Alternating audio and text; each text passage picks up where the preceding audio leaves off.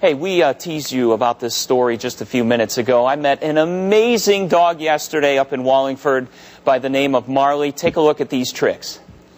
Here we go. Most dogs love to play fetch or chase a ball. The most amazing thing you've ever seen. Meet Marley, Extremely talented canine. A three and a half year old golden retriever that seems part fish or part seal. Never heard of another dog that actually goes under as well as Marley. This diving dog loves swimming down seven and a half feet to the pool bottom. She's so fast, man's best friend has no competition.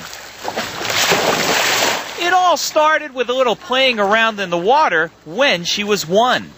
My youngest son Ethan was sitting in the pool with Marley and he just was throwing one of the toys and she doggy paddled to it. That's when the diving started.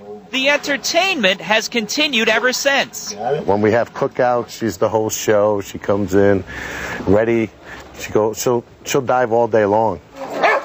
All of this attention has her doggy brothers barking with jealousy. Harpo wants to save her, so he runs around the pool screaming the whole time.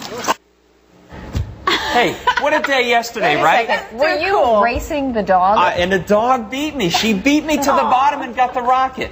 You know, and I'm a pretty good swimmer. Stupid pet tricks right here in Good Morning. Unbelievable, right? Fantastic. Pretty and good. human tricks Don't too, try I this think. at home. I don't know. All right, Gil. Thank